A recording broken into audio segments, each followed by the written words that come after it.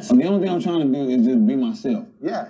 hundred percent through and through in whatever it is that I'm doing. And that's really what I'm trying to get everybody else to do. Yeah. Like it- whatever it is, unless you're a trash person. Yeah. Don't be hundred percent that. Yeah. If, like be the best version of yourself and then just be that. Whatever it is that your interest is, whatever it is that makes your personality, whatever it is that makes you you, do that. Yeah. hundred percent authentically and like don't like stop trying to be like everybody else. That's the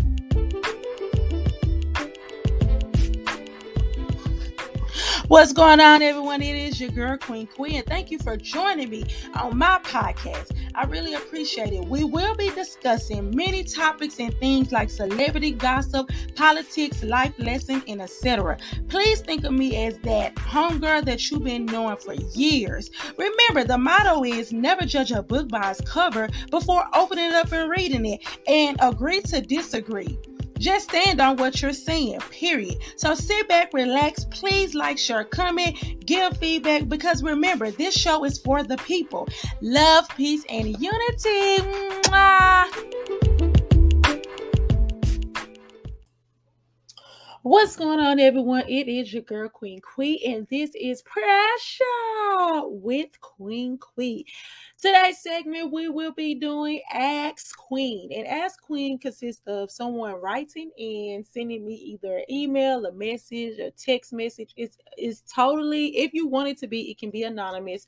Uh, so you guys write in, you add, tell me your situation, and what would I do? And then you basically get advice from me or what would I do in this situation. So let's jump right on into it. Dear Queen, here's my situation. I met a girl and moved in with her. We had three kids. Then my girl's mom and her sister moved in with us. Then her uncle moved in when he was released from prison. Now we have mother, sister, uncle, and children under one roof.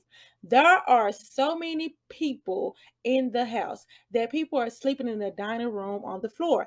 There are no house rule or discipline for our children since my name isn't on anything at the house. I have no say in what goes on. I have a job and I'm in school, so that's how I keep my sanity. This is not how I handle business. I've I always believe that I am a million dollar man, but I'm living like a two dollar hooker. I'm trying to stay the course and be here for my girl, but it's hard when it seems like she doesn't care.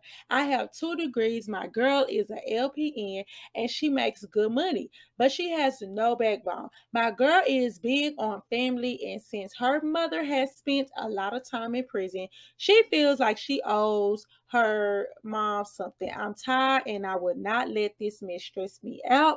Should I just move on and get my own place? I can't keep living like this, and my children shouldn't have to either.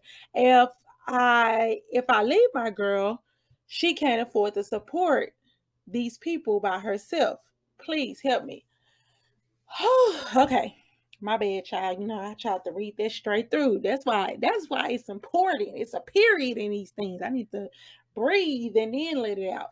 Okay so uh oh my god first of all sorry to hear that because this is one thing about it. Me personally i am um i am i am a person that has been single that have never had to live with a man uh for like a long period of time or really just at all. Ever since i've been out on my own i have not had to you know basically live with another individual whether it's the spouse or boyfriend or whatever. Like it never gets that far. And that's because i do have kids. And um yeah so it has to be serious.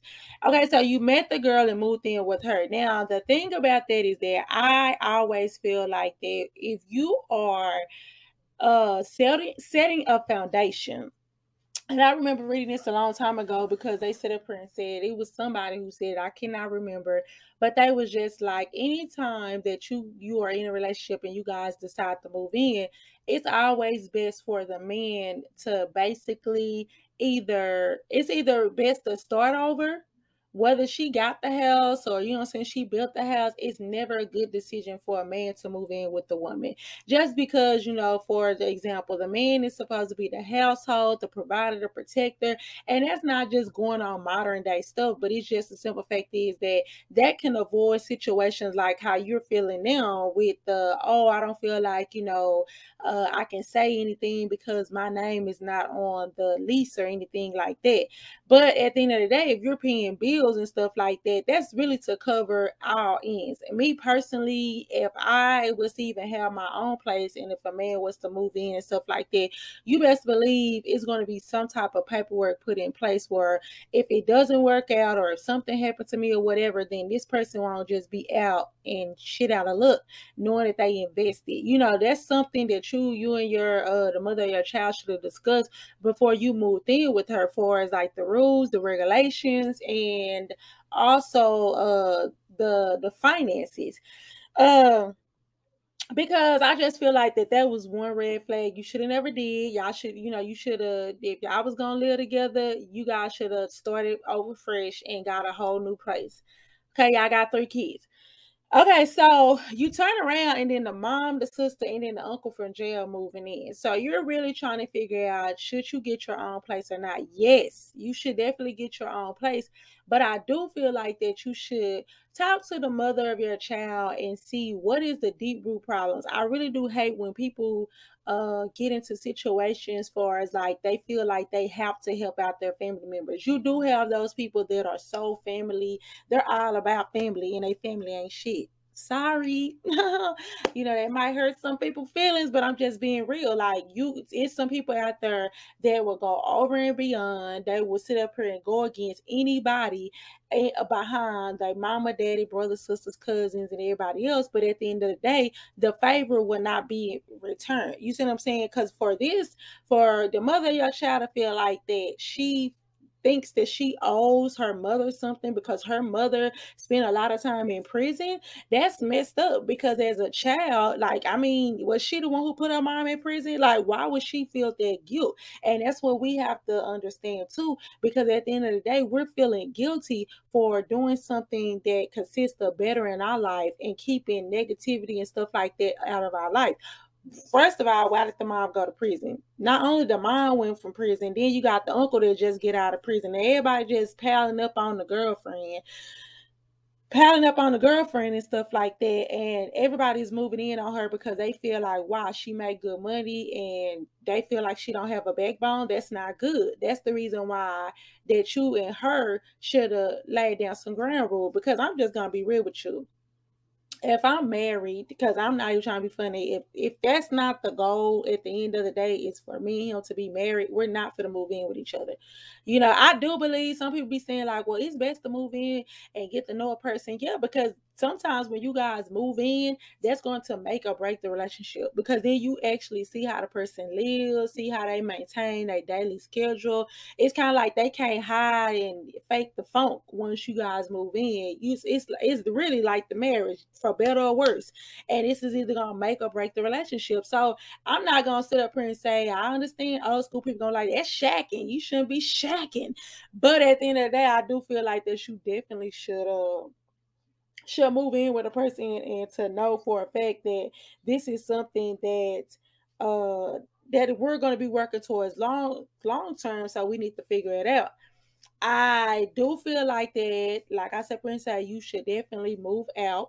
You should have a talk with her and let her know, like, hey, you know, what should this is the type of stuff that I do not agree with, and that if long as I'm here and I'm paying bills and stuff like that, it has to be rules because I don't understand why is it that you guys don't have discipline and rules and regulations, not only for the household, it's also for the um for the kids. You guys kids together. Like what? You telling me not only these people gonna stay with us, but we can't say nothing or we can't discipline our kids because they stay with us because they gonna have something to say.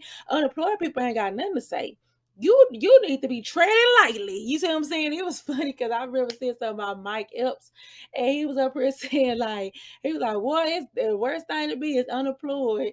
You know, you can't even look like you too relaxed to somebody else. I mean, as soon as they hit the door, come in, you better be up on your toes, walking, cleaning, moving around because at the end of the day, if they feel like you too relaxed, oh, it's gonna be a whole nother problem. And I feel like with this situation, that's exactly uh that's exactly what she should have done. She should have definitely put down ground rules. And then even when it come down to y'all kids, you know, let's just keep it real. Those are y'all kids. Now, if it's the issue, you telling me you can't even go to her to let her know, like, hey, you know, this is what we need to be done or whatever. it's, it's got to be more to the story because is you is you paying bills?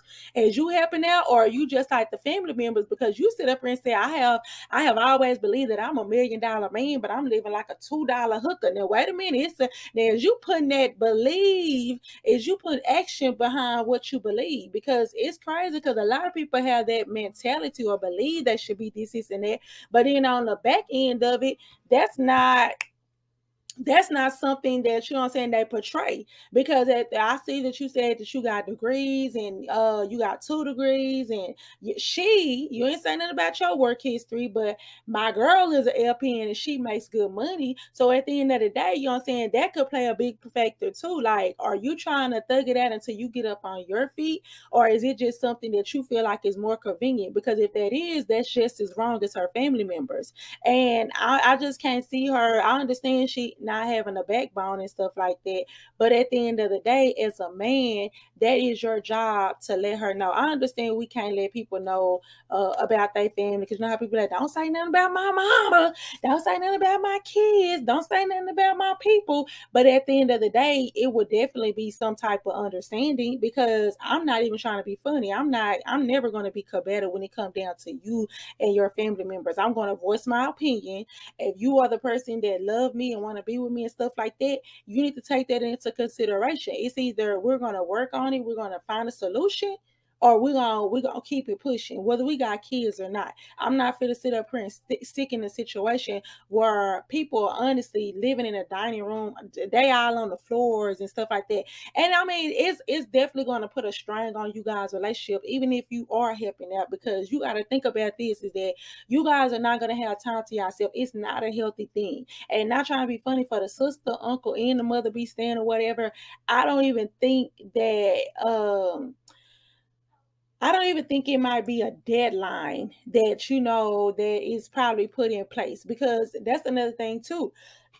when you talk to her, let her know like, hey, you know, is it a deadline that they're going to basically have to obey uh, uh you know that they're going to have to go on to make for sure that you know that they are trying to work towards getting up out of here? Because we're not fit to support people until they're ready to leave until we file out. No give them a deadline. I understand the mom came from prison the uncle and stuff like that but you know if people sit up here and they're ready to change their life and get themselves together or if they're just trying to freeload. So my advice is uh first of all talk to her.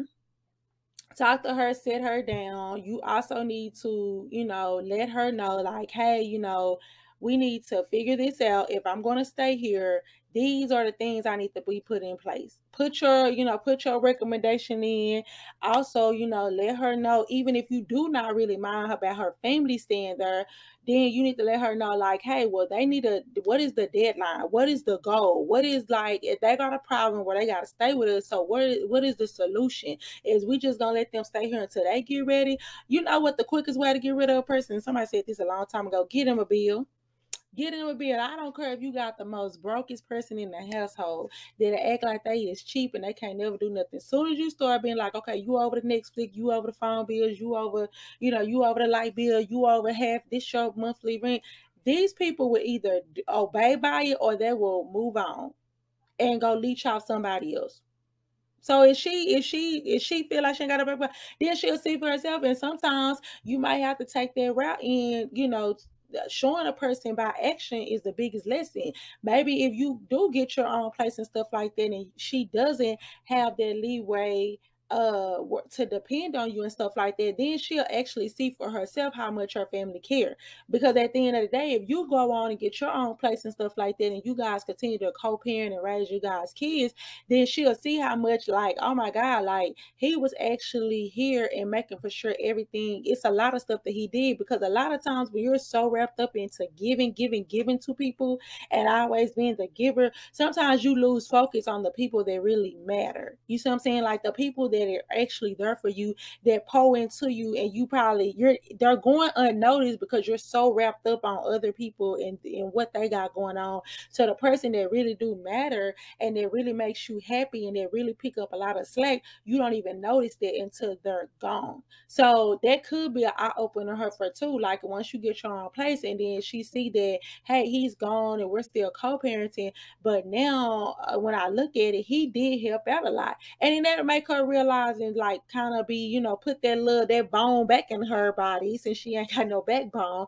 That'll definitely put that bone back in her back. And uh she'll start trying to like lay down foundation. I do not feel like that is healthy for family members and friends to stay with you know you i don't care how much y'all been through and what's going on i think everybody should have a deadline unless it's not like no health issues or no death reason, I feel like everybody should have a deadline. I don't care. Like if I was a if a dude, man, a dude, we together and we stand together, or my spouse or whatever, uh, it can be anybody. But please let it be a deadline. Like I don't I don't want you to be saying like, oh, this person gonna stay for me for three or four years. No, like you know I'm saying? Like, no, it has to be a deadline. Or we need to see what is something we put in place. Now, if it's come to an agreement that we both agree to and it's no problem, fine. But that's something that should be discussed before the person move in, stay the night or whatever. So I hope some of the advice uh helped or whatever. I tend to ramble, but you ask me, and like I said, Prince, say I do feel like that you should sit down to talk to her and let her know how you feel.